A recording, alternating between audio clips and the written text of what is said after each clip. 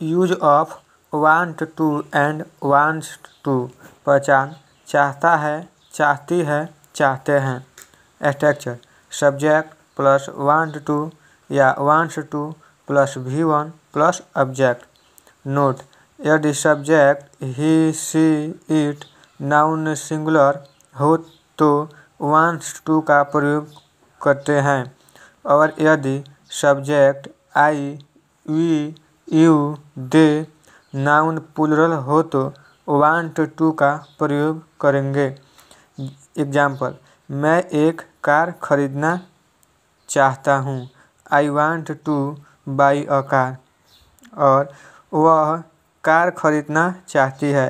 She wants to buy a car negative structure subject plus do does plus not plus want to plus V one plus object. Note one, जब भी do does का प्रयोग करते हैं तो want to का प्रयोग नहीं किया जाता है।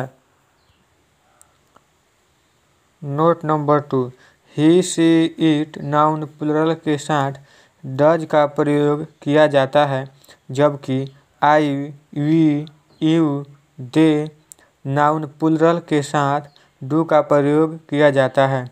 जैसे, आप लोग कार खरीदना नहीं चाहते हैं। You do not buy a car